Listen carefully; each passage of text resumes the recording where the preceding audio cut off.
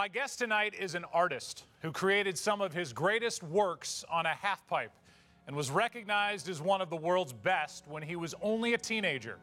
Anthony Frank Hawk would go on to become the most accomplished skateboarder the sport has ever seen, winning more contests than any skater alive, including 10 X Games gold medals. He's an inaugural member of the Skateboarding Hall of Fame and became the first person in skateboarding history to land the coveted 900. But before he became the face of skateboarding, did you know he earned his first sponsorship at the age of 12, bought his first house when he was in high school, and retired from competition twice before his 27th birthday? Tonight we'll learn what makes this undeniable icon who he is, a man who once said, I believe people should take pride in what they do, even if it is scorned or misunderstood by the public at large. Ladies and gentlemen, please welcome the Birdman, Tony Hawk.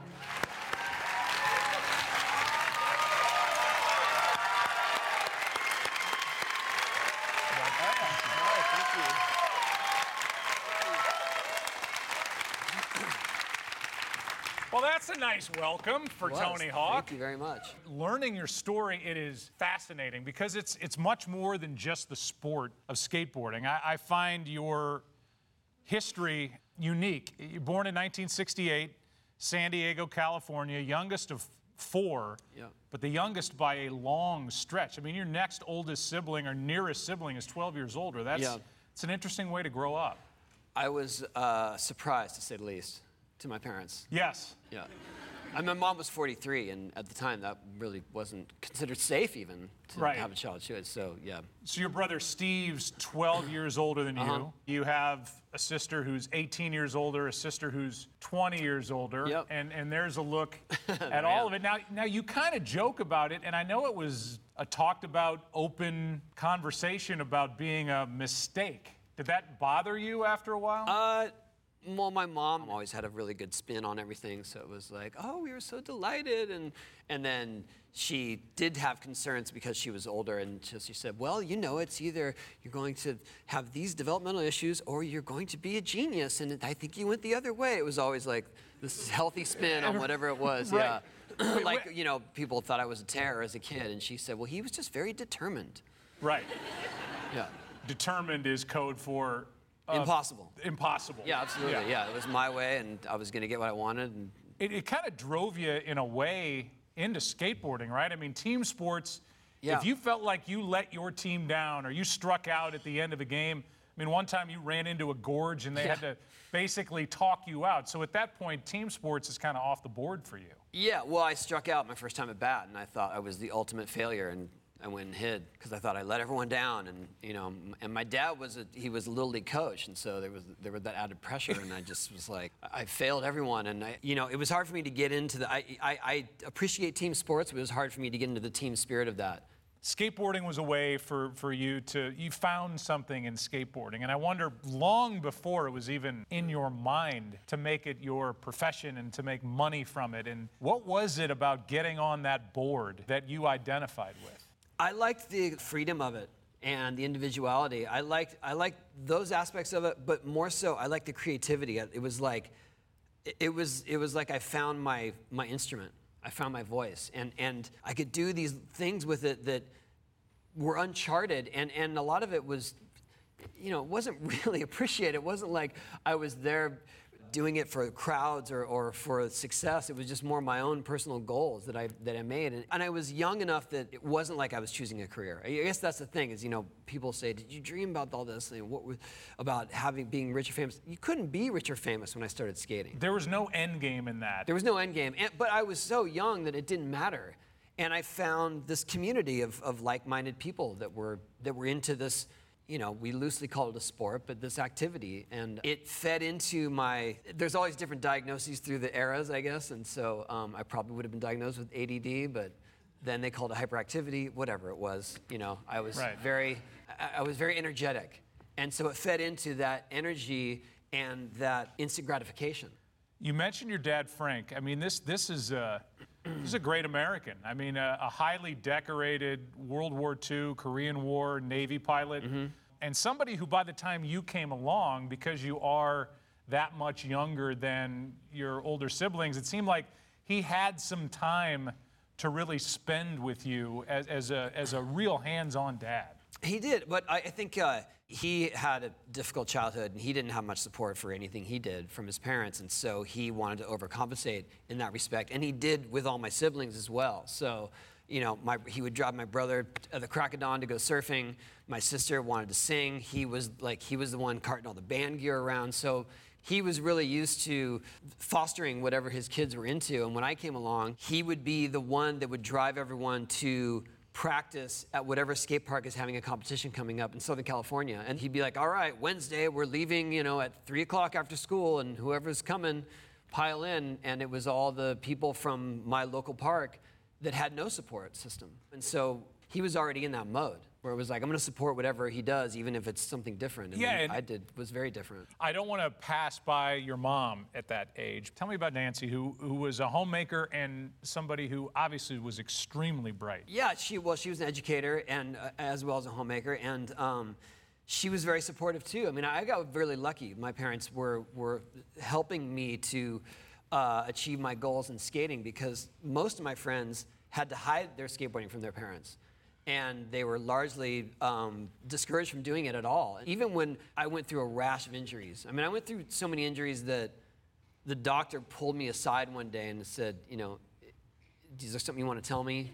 They thought you were getting beat up happening at home. They really did. They thought I was being abused. Yeah, because I went. I had two concussions early on. I knocked out my teeth. I fractured my wrist. I, you know, and I was 11 or 12, and it was like those are the kind of injuries that you would see on kids generally. But when you woke up from being knocked out, you wanted to get right back on the board. I did. Yeah, yeah. I was I mean, if there's a Yeah. better litmus test for Yeah. somebody, is, is this really for him or is this what he loves? That's it. I talked to your brother Steve, and he said what struck him, and again, he's 12 years older than you, when he'd be waiting to take you home from the skate park. Yeah. He said, I could not get him to come to the car Yeah. until he completed whatever he set his mind to do that day. He said, that I mean, still rings true. You can ask my wife. uh, Really? Yeah.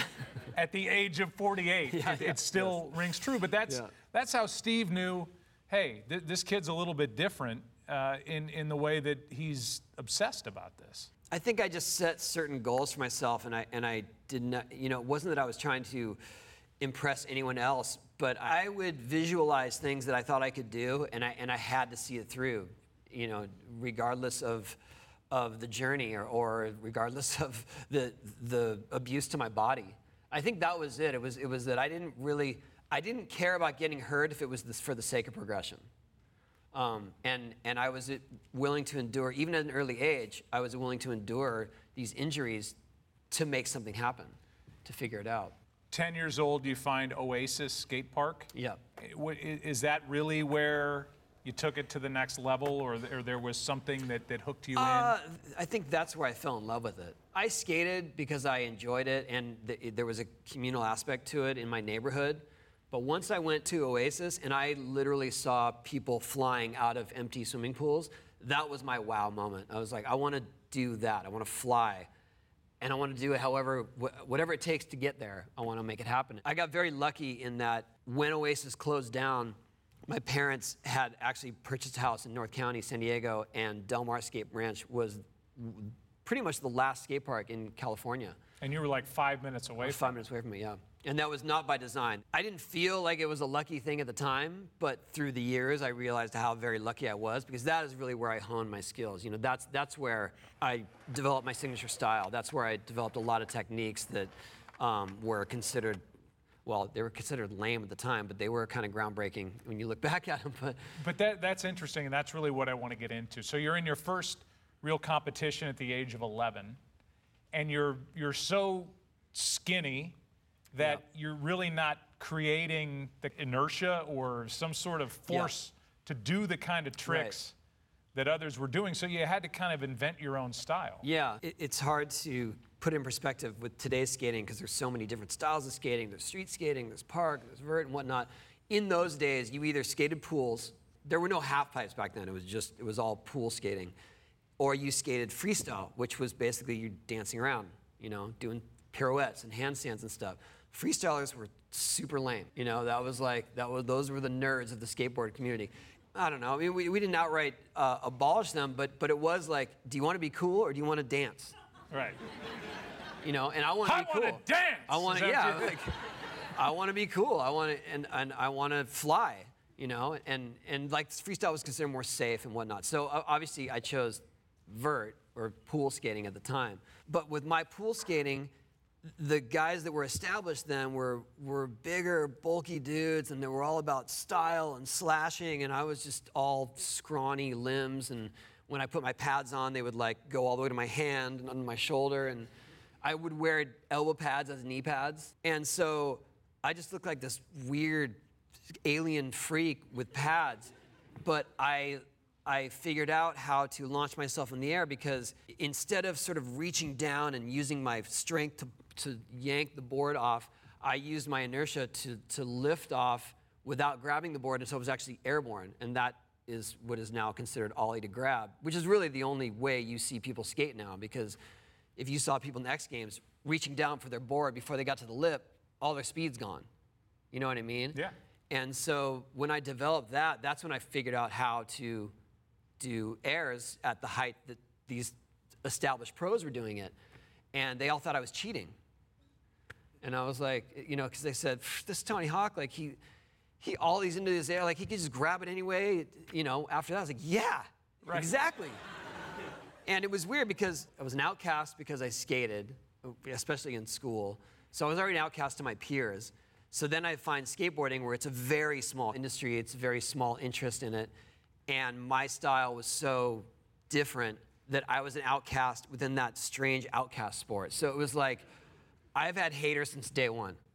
I mean, you know, it's like, it, and I got used to that. And so I just got used to believing in what I do and believing that I, believing in it just because I love it, not because I believe in it, like, I'm gonna make a splash in the skateboard industry. It was just more like, I love doing this and I'm doing it my way because I don't really have a choice. Your first sponsorship comes at the age of 12 from Dogtown. Yeah.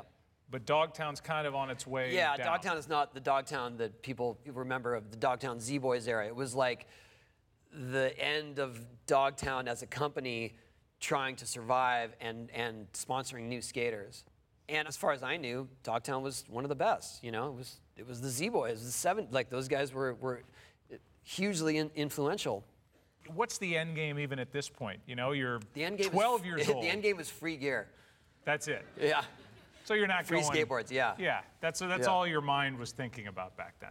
Yeah, and, and, and competing because that was the only way to get recognized. So if you wanted to go, you know, if you wanted to go hang out with other skaters, you had to go to the competitions. It wasn't like you could put out a video on YouTube and be recognized. You know, it was more like you had to go where the action was, and the action was at the contests. There's a fascinating man who comes into your life named Stacy Peralta, who sees your determination even as a 12 year old Yeah. and says, I want him with me, which becomes the Bones Brigade. It was starting, and then as I was included in it, it was already Mike McGill and Steve Caballero and Rodney Mullen. And now, now Rodney Mullen, this guy was doing things on a skateboard that just defies logic. Yeah, well, Rodney transcended freestyle because, like I said, our view of freestyle was, you know, the kind of nerdy guys doing pirouettes and dancing around. But Rodney was doing things that that even we, as as these cool vert skaters, were like, that is incredible. That is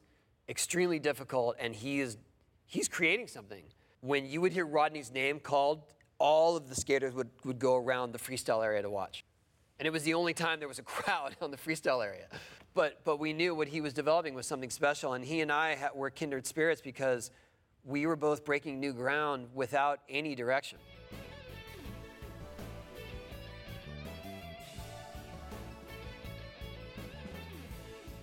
So I learned that trick from Rodney. Wow. Yeah.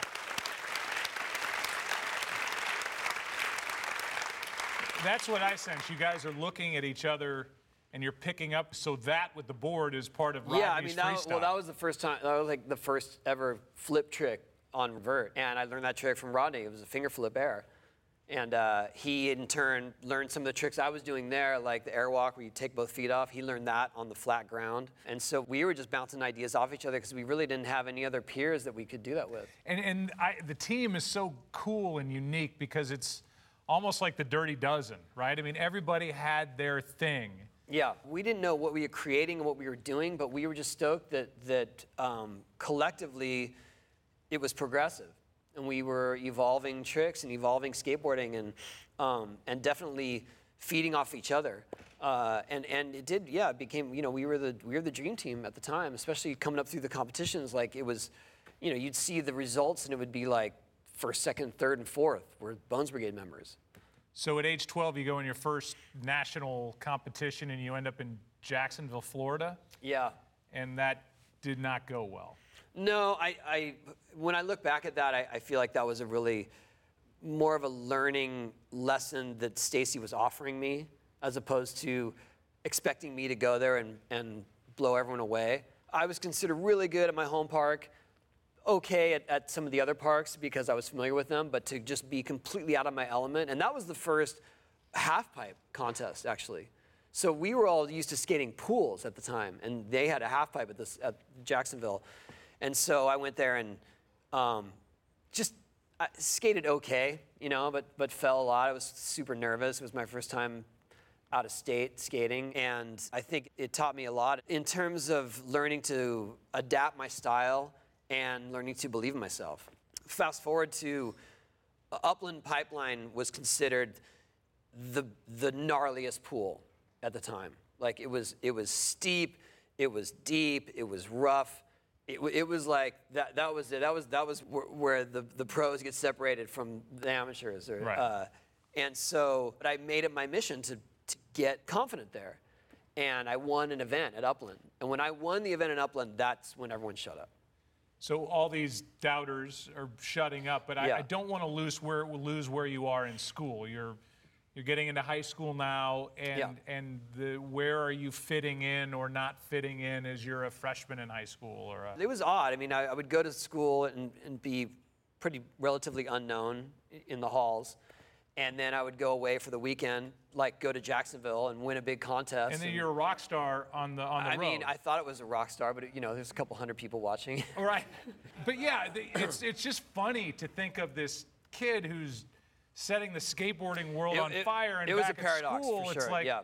you know, you're you're disappearing behind a locker. so as skating started to get some popularity, people at school knew that a pro skater went to their school or that Tony Hawk went to their school, but they could not pick me out of a lineup.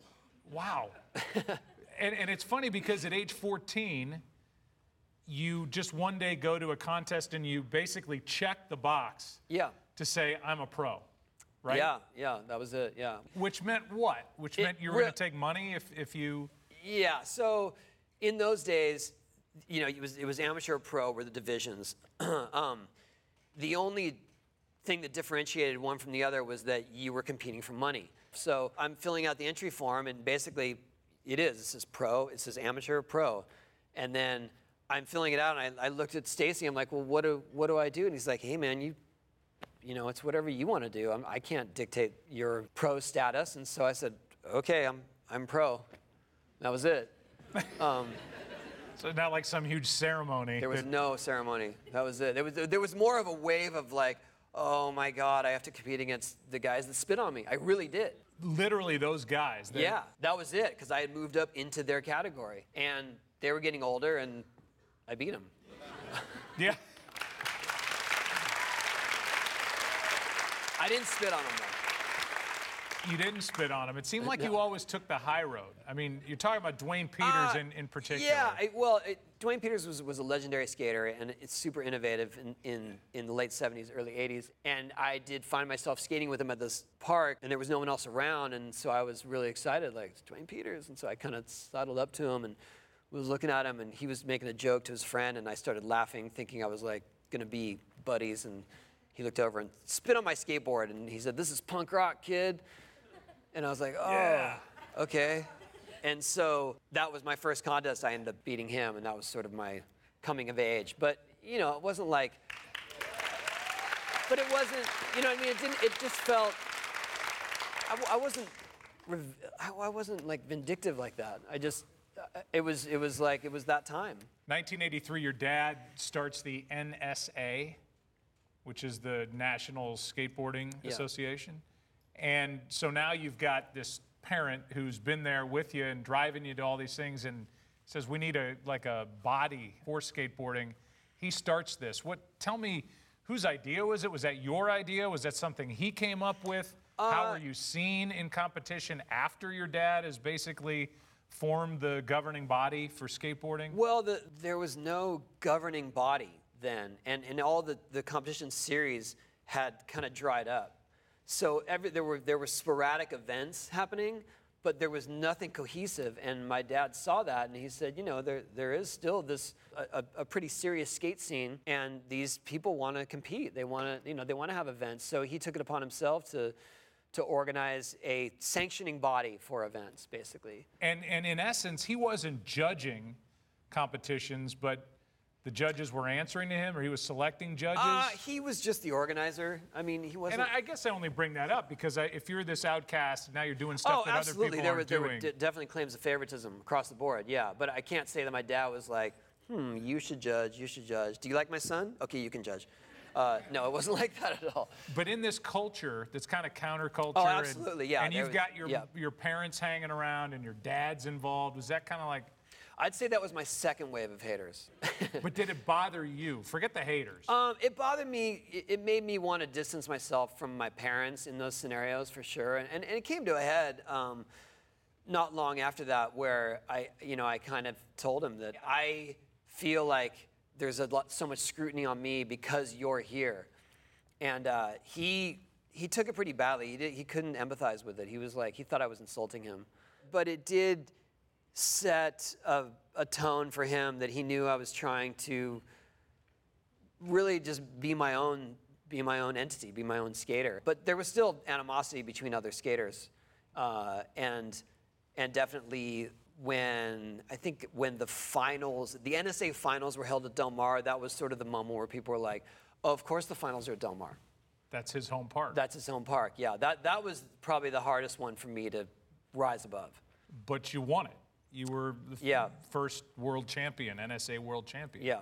But but then after that, I, I started getting better at the other parks, and, and it was kind of like, Okay. shut up the, the haters. Now you're starting to gather momentum and you're starting to make some money. The, the financial success happened very quickly. I, I remember saving my, my competition earnings through the, like, the early years of being pro, say 14 to 16, and being so excited when I had enough to buy a moped.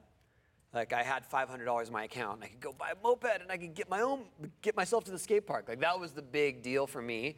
And then through ages 16 to 17, every month, like my my uh, royalties were jumping, um, double, triple, quadruple, and, and it was like all of a sudden I had substantial money. I know at the beginning, your first deck got you a royalty check of like 85 cents. Yes. There it is. Yeah, yeah. That's what a check for 85 cents looks like. Um, that- you know what's good about that is that it, it allowed me to understand how much I get per deck. yeah. So I, I, that was one. That must have That's been one, one. deck sold. Yes. And then you go through kind of a redesign of the logo, your star grows, and now you're making three grand a month. Yeah, it happened very quickly. And so my dad, he was the one who said, you know, you might you might want to consider investing some of this money that you're making. And they're building this whole new tract of houses right down the street. And he went down there and, and basically reserved a house for us because he had to co-sign it. I was 17. You're 17 years old with your own house. Yeah. That is like every kid's dream. A bachelor pad before you even were a bachelor. It was such a bad idea. Why? Okay, but did you you slept there, lived there? Yeah, I had three roommates, and uh, it was just party time. I mean, it was ridiculous. Like, you know, it's you know, in those days, it was like, whose whose parents are out of town? It was like my parents were always out of town. Right. at, at some point, you, do you take the high school proficiency exam? I did. I took it and I passed it. But by the time I got the results, I only had one more year of high school. It was unspoken, but I knew my parents really wanted me to get a high school diploma, a proper one. Um, and so I, I pushed through and I graduated. Wa- was college even a consideration at that point? It was, well, it, I mean, you're such a smart guy that I would think that there's some allure into going to the next Well, level? Well, it was just more tradition too. Like all my my brother and my sisters had all gone to college. My my mom was a college educator, and so just to appease them, I went and looked at a couple colleges. You know, walked around the campus like, yep, that's cool. Right. Yep. If I were You're like, I could skate there and I could skate there. And I think one day I just finally said, Dad, I have so many opportunities. I mean, I literally, out of high school, got um, the, the movie part for Gleaming the Cube. Like, I was, I was hired to do a movie based on my skating. It's Christian Slater yeah. movie. And so that was the moment where he kind of backed off because it was like, I was, I was just going full steam ahead and, and I could tour more. You know, I could explore more possibilities, more, more opportunities in skating, and, and that's when he let me just go. I'm wondering at this point in your life, you've lived on your own now, you have your high school degree. What what are your goals? What are you hoping to get out of skateboarding? Is that going to be it? You know, your parents want you to take college courses in case there's you- a I, need to I, fall back. I wasn't looking that far ahead. I was you 18. didn't even think about that. Yeah, I mean, I was 18. I was making six figures a year. It seemed like I was invincible. It just seemed, you know, there was, I, I couldn't see an end to it. So it wasn't like I was like, all right, you know, just got to get to this point and then everything's great. It was like, what else is, what else can we do? This isn't, you know, it was like a dream. It was a dream come true, but something that we couldn't even have dreamt back then. But there was a point there where you got a little burned out or frustrated or Um, I got jaded on competition around that time. because people expected so much out of you. they just well they just expected me to win and and it was like if i didn't win then i sucked and i didn't like that pressure and um, it was hard. It was i had to really do some soul searching then because i love skating and there was no other way to make a living skating than by competing. It was all about competition and i was at a point where i, I was falling out of love with competition because um, people put so much pressure on me. While your career is going and your high school life is happening, there seems to be this quest that's starting for you. And maybe you don't realize it at the time, but I know you were landing different tricks that kept testing you and testing you. And in 1985, you land a 720. Mm-hmm. Here it is. Oh, so th- yeah, this is the first one. That was it. See that big crowd. So that was just near some lake on the outskirts of Stockholm. That's crazy. How shocked were you that you were able to land that in 1985? Ah, it's weird. It didn't seem that monumental at the time. 540s had just been created the, the year before that. So at, at exact camp, because they had a bigger ramp, which gave you more airtime, and no one had really discovered that aspect of, of skating yet. So Mike McGill created the McTwist the year before, and then when I went there, I realized how much airtime I could get and that I could spin faster coming up backwards, and just kind of did it, you know, to no no fanfare. There was no one there. It was. It seemed kind of groundbreaking, but it didn't get a lot of coverage It- because in those days it was like, if you didn't do it in a competition, it, it, they didn't count it that much. So you try the 900, which is another, I'm no math major, but 720 plus 180 Right. equals 900. So now you have another half. I start. I tried it. I think it was maybe two years. No, it was the next year. Yeah, after 86. That. Yeah, 86. I tried it. Uh, we were at another skate camp in France with a big ramp like that, but I couldn't. I wasn't getting close. I mean, I tried, but it wasn't going to happen then. So I know we've joked about it a little bit, but when you're trying a 900 and you bail out of it, That that was more dangerous for sure because on a 900, your back your back is turned to the landing zone twice. So there's no way of really spotting where you're going to land besides just feeling it and hoping that you're in the right position to do it. When I started trying it, I didn't really have the right spin. I didn't really even have the right commitment. So when I first started trying it, I would end up on my back sliding down the ramp backwards going, "Where am I? How did I get here? This isn't going to work." do you sense that it's possible? a couple years after that, there were a handful of us trying it. Danny Way, who is who is a pioneer, He came the closest, right? He uh, was on video actually putting his board down on the ramp, and and they they fade away at that point, and so there was this big you know folklore like he made it, but the camera turned off. Like, come on, you know he didn't make it. But Right. he was close, and that's all. You know that that was the spark for me. That was like, oh, it, it, it actually is possible. So here's where we are in time 85, you land the 720. 86, you've tried the first 900. 1987, SI for Kids calls you the Gretzky of skateboarding. and now tell me about the pressure that's mounting on you professionally. I started to uh, get disinterested in competition because of all the pressures of it and, and wanting to do something else, but realizing that it would be very hard to make a living. But so I, so I did kind of distance myself from contests. I stopped entering them for a while. I found that, that my resonance was dwindling in the skate industry because I wasn't competing. You know, my name wasn't up there on the on the rankings, and and so and so at the age of 19, you basically retire. Yeah, I mean, briefly, yes. And and in my eyes, I, I, needed to. I needed I needed that just for my own peace of mind. Was it like a timeout, or was it I'm done? I never really made ultimatums like that. Um, I, I knew that I might have to come back to it if I wasn't able to make a living. And, you know, it was, it was becoming like, wait a second, this is, this is actually my career and I have to figure out how to make this last. Yeah, and you're supporting people and you have financial burden and the yeah. burden is dependent on you doing things like landing a 720 or maybe oh, someday well, in land, competition. In competition, yeah. yeah. yeah. It doesn't matter what you did right. outside of Stockholm. This, this is you right. got to do it now when all eyes are on yeah. you. Yeah, that was the shift for me. That was the shift in, in terms of I should just go enjoy this and maybe take some more chances. And if I do come through, like, I'll be so far ahead of what I was doing. For me, the motivation is just to, to do something new, to keep, to keep evolving. Street skating is now coming up. Yeah. And, and that's real counterculture. Like, hey, all you need a, is a board and we can go do it on steps and on a bench and whatever. And you're, you need ramps and you need skate parks and you need – so was was what you were doing being looked down upon? It wasn't being looked down upon. It was just less available. The skate parks were all closing because liability issues. You know, it was, it was the 80s. Everyone's suing everyone, and skate park was the perfect venue for that. And then people were taking the ones who love skating were just taken to the streets because they realized that there is this urban landscape that is a skate park. Mark Gonzalez was the first one to use a handrail as a skate obstacle, and that opened up this entire world of uh, new types of scanning. In 1991, you're making significantly less money. In 1991, my income was dropping by half every month. I mean, not just every year, like every month. Um, my royalties were, were being cut.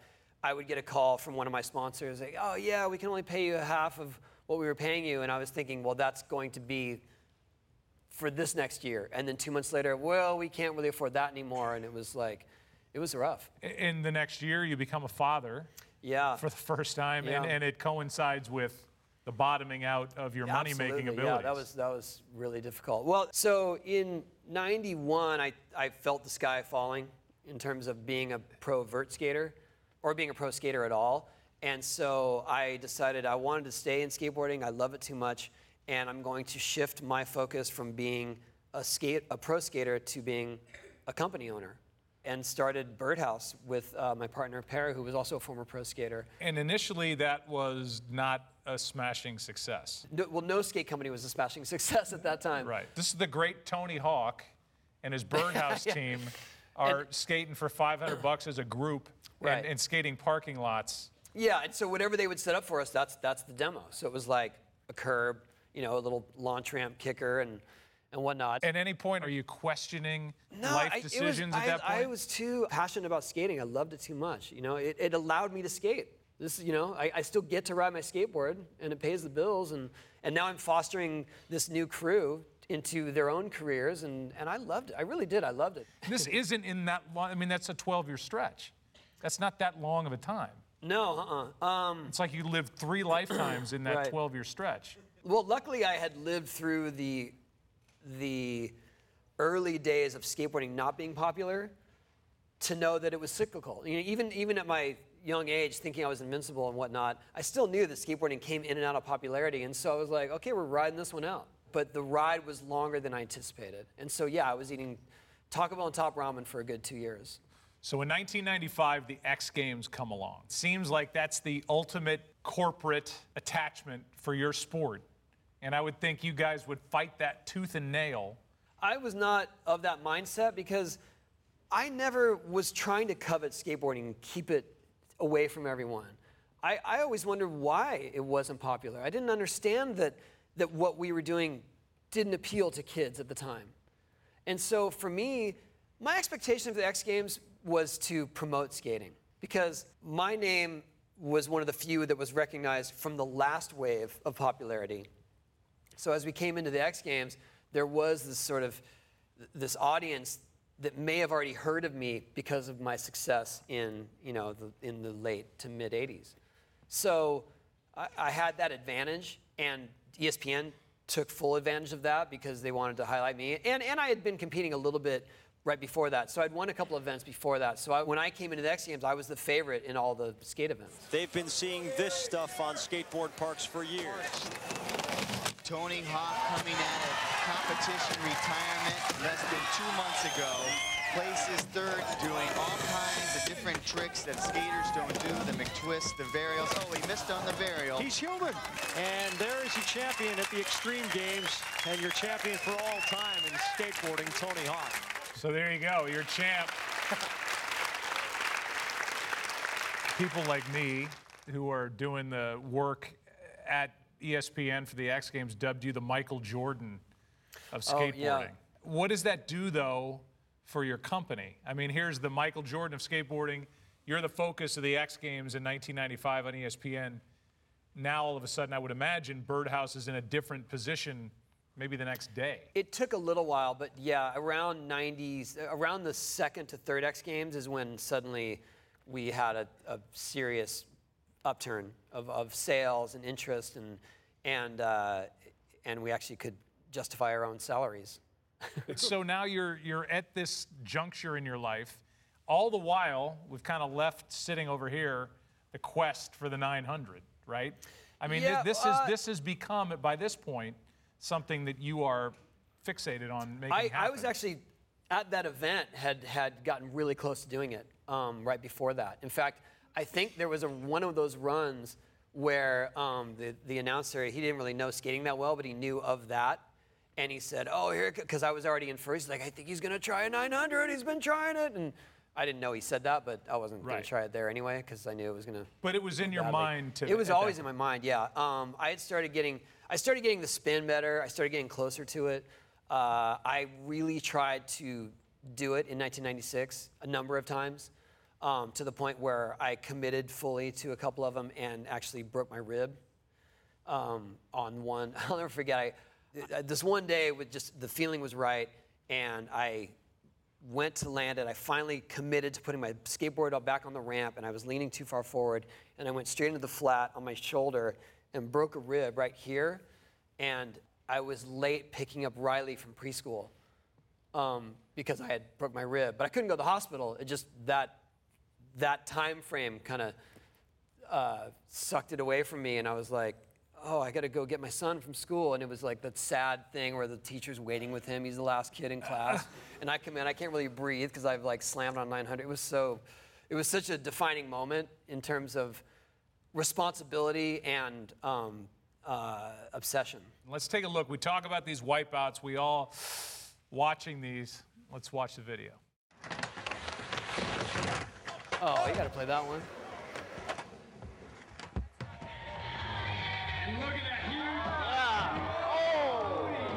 Oh, no.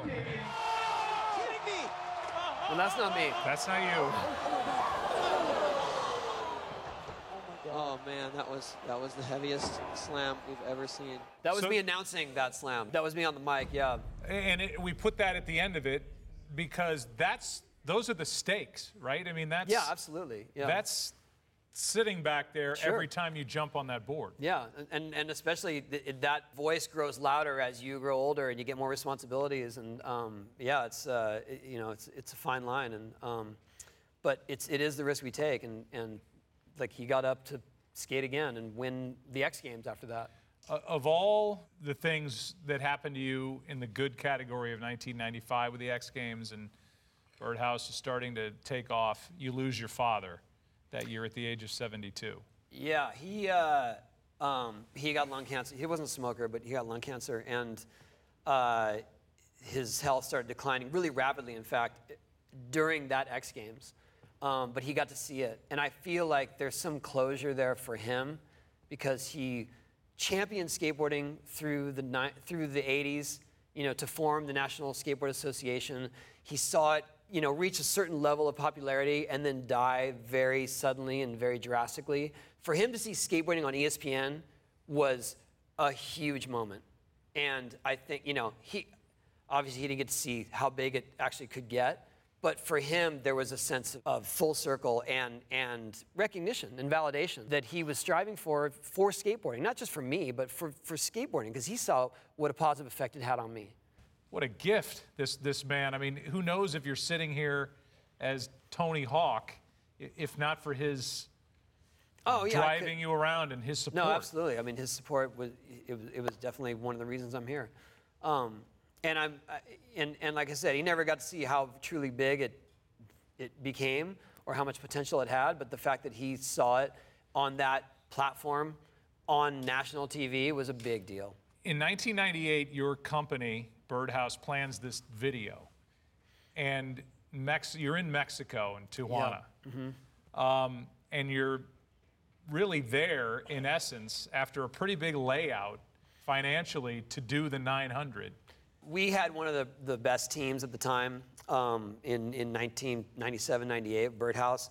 And we wanted to make a cohesive video of our team. Um, so I designed what I thought would be sort of the ultimate ramp, all along knowing this could be the ramp to do a 900 on because it's bigger and, and that'll probably be the crescendo of the video is me finally doing 900. So that was always the unspoken finale of the video the guy who was making the video, his, his creative idea was like, you're a bullfighter and the, this ramp is your bull and let's do it in a bull ring. And so the second to the last day was the loop day because I hadn't done that and that, that's a big risk factor as you saw with the, my big slam there. Went down there, figured it out, did the loop, and it was like, we have one more day to shoot. The whole team comes down for that day. No one's saying anything, but the whole vibe is, Tony's gonna do 900. Right, this is like a pitcher with a no hitter where nobody wants to talk to him in the dugout.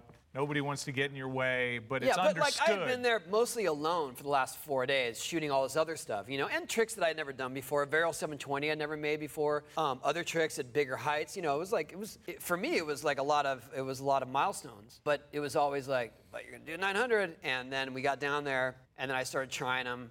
But in the back of my head, the last time I tried to make it, I broke my rib, and I kind of got away lucky the way that I fell, and I was like, I don't want to be stuck in Tijuana with a broken rib or concussion or whatever. Or and I could not, I couldn't get that out of my head. so you just said, no, we're not doing it. After like almost an hour of attempts, I just said, I, I can't do it, you guys. I can't do it. I'll never forget one of the, well, my partner at the time came over to me and he's like, well, I guess the bull won. And I was like, Oh, oh. dude. like here's the board. Go ahead, you do it. Jeez. Okay, so you leave there, and knowing you the little I do, I would imagine that little five year old voice was barking in your head, going, uh, You just let everybody down. in my eyes, if I couldn't do it for the Birdhouse video, I just can't do it. You know, it was like there's no other bigger incentive for me Then than to do it for your company. do it for the company and do it on a ramp that I personally designed that's bigger than anything that's ever been built. It was like that was it. And so um, that was kind of it. That was I, I didn't really try it much after that. And then um, fast forward to the X Games in '99, which was about a year and a half later. Uh, they had a best trick contest, which was the first time they had a best trick event in the X Games. So as the best trick contest came around, the only thing I had planned was a Varial 720, which I actually actually had done for the Birdhouse video. So I knew it was possible. I knew I could do it. I made the Varial 720 kind of midway through the event, and so for me it was like, well, what's next? What's next is a 900. I, I- I'll listen. Well, I'll just do it for the crowd. Like I'll just I'll just try some for the. It was really like, well, here's what it would look like if it ever happened. But as I was spinning it, I started getting, you know, I started getting consistent with my spin, and I started seeing my landing, and that was that was the key. Where I was like, I can see my landing almost every time. If it's going to happen, it can happen right now. And I I shifted my weight to to compensate for the the fall I took the first time that I tried to make it, and that was the key. Seeing my landing, shifting my weight. You know, the time had run out. I didn't care. I mean, I didn't I didn't even expect it to be on TV. I just wanted to make it. Everybody picture it. Here we go. Feel it.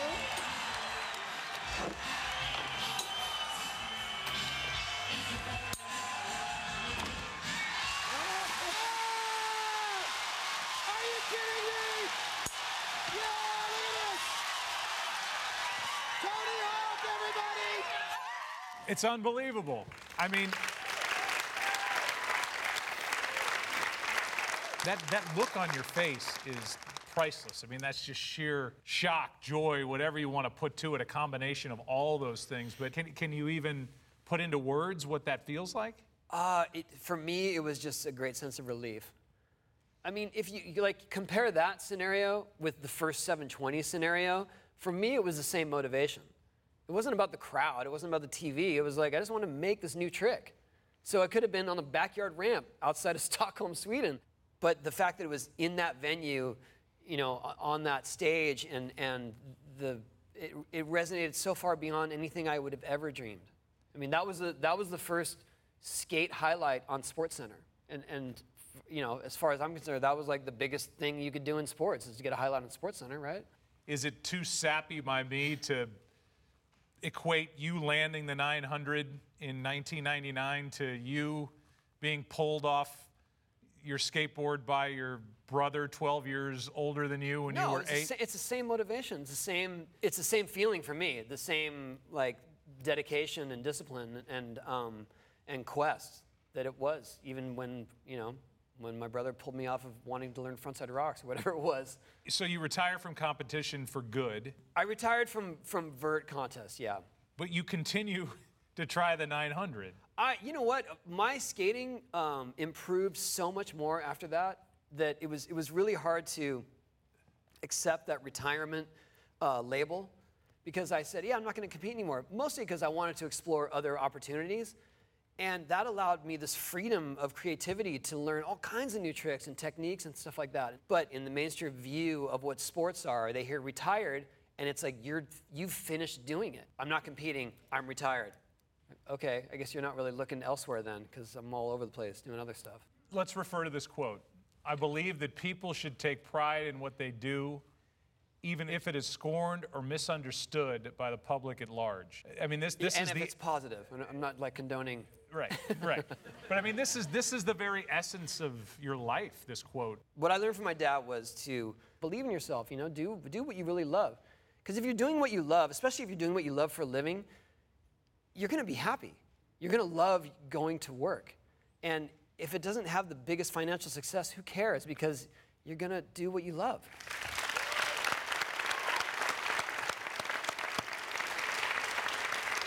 Well, now you think about where skateboarding has progressed, and, and we're talking about now an Olympic sport going forward. That, That's Right. got to give you such a sense of pride knowing that, that this sport that went through all these ups and downs, and you went up and down with it, that now this is something that's regarded as, you know, worthy of, of being in an Olympic Games. We've come so far in skateboarding, I've seen it grow so much, but I also have this sense that it's about time. You know, like look how look how popular skateboarding is, especially compared to a lot of summer Olympic sports. I don't want to discount what they're doing, but really the number of participants, the excitement level, just isn't there for, for their summer games. It's there for their winter games. Why? Snowboarding, right? Because they finally discovered, oh, that gives us a youthful edge. Like these kids really into snowboarding, and I was like, yeah, you could have the same thing with your with summer games. And so all along I've kind of said I think that at this point the Olympics needs skateboarding more than skateboarding needs the Olympics. Would Tony Hawk be an Olympic skateboarder? No, but I'm happy to do commentary. Unless I just blew my chance with that comment. Yeah, no. No, but I've always said that. No, I mean, and I really, I'm not, I'm not against it. You know what I mean? I, I feel like if, if the right people are, are governing or are sanctioning the, the competition aspect of it, if, if the actual skateboard industry is involved in that process, it could be a great thing. And on, on the flip side of that, it would be amazing exposure internationally. So, uh, you know, there, there would be an Ethiopian skate team. Do you know what I'm saying? Like, Yeah. that's amazing to me. So for that, that's the silver lining of the Olympics to me is that, is that it, would, it would grow skateboarding in the most unlikely places. Are you still dreaming of tricks? And if, if the goal was at one time the 540, then it was the 720, and then it was the 900, 1080's been done. I'm not, I'm not chasing 1080's that been one. done. Are- Is this, where does this end? Where, Um, where do well, we go? I would, I would probably tone down the spinning a bit as I reach, as I approach 50. Uh, but there's still tricks I want to do. I mean, we're making a whole new video for our team Birdhouse right now, and I'm, I'm working on a whole bunch of new tricks, and I actually have some in the bank already. You know, I'm going to get a new video part by the time I'm 49. So I don't know. I guess let's just keep going until the wheels fall off. Literally, yeah. you know, we end this show by saying, What's next? I mean, you've been able to grow this sport. What is next for you? Um, Well, uh, so I, I started a foundation uh, almost 15 years ago for public skate parks in low-income areas, and you know we've really learned how to be effective in the U.S., how to support communities that want to help themselves, how to guide them through getting a skate park in their area, and, and so with that we've we've had a lot of success. Um, we've given away almost six million dollars now. We helped to develop over 500 skate parks in the U.S., but I've always felt like there's an international aspect to that missing. You know, how can we support projects in other countries? For us to do that by ourselves would be extremely difficult because we don't have the resources, we don't have the funding, but we've been able to do that through Skateistan. And Skateistan is, is a group that started a skate project in Kabul, Af- Afghanistan, where this guy, Ollie, his name is Ollie. Come on. It really is. Ollie was there a long time ago with his girlfriend, and he started skating these empty fountains in Kabul just on the weekends. And suddenly, these kids started flocking to him every weekend to try it because they were so fascinated by it. And he just started his own skate project there, um, and it's grown. Ten, it's grown huge. They, they actually have their own their own um, facility. They have a school element to it, an educational element Wow. and it is the only co-ed sport in Afghanistan. They consider it an activity, So you can get around it. so you can get way. around it. They've used that model, and they put one in Cambodia. Um, and we recently just funded their their uh, project in South Africa. So that is our international outreach program is Skateistan, and their plug and play model of skate park slash school. And I'm so proud of it because it is this progressive idea that they're getting just as many girls skating as boys as boys. I mean, that's that's more progressive in the U.S. That's great. Um, we end this uh, with with fun questions, which you didn't sign up for, but that's tough. Because none of that stuff was fun. Right, exactly. Would you rather have X-ray vision or bionic hearing? Oh wow, bionic hearing, so I can hear what my kids are up to in the other room. Brilliant. Would you rather be able to read minds or send your thoughts to someone else? Uh, I feel like I've been kind of an introvert through my life, so I'd rather send my thoughts to someone else because sometimes it's hard for me to actually convey what I'm thinking, especially to my family. Would you rather fight a Teletubby or E.T.? Teletubby, without question. Would you I go would for kick Po. Dipsy, Laa-Laa, Tinker? Any of them. Line them up. Yeah. I'd like to hit those things. right in the TV stomach. Right, yeah, in the Yeah. TV stomach. Yeah. That was the freakiest freaking show that ever came along, the Teletubbies. Well, here was my beef with Teletubbies when I was as, as a young uh, parent. These guys were uh, they were just a mess. You know what I mean? They would just be like, oh, Knock no. stuff over, yeah. Like, oh no, and then they would walk away and they're like, and the Noo-Noo tidied up. Right. And then this vacuum would come up and clean. And I was like, what? What is that teaching anyone? like, okay, so your parents are the Noo-Noo.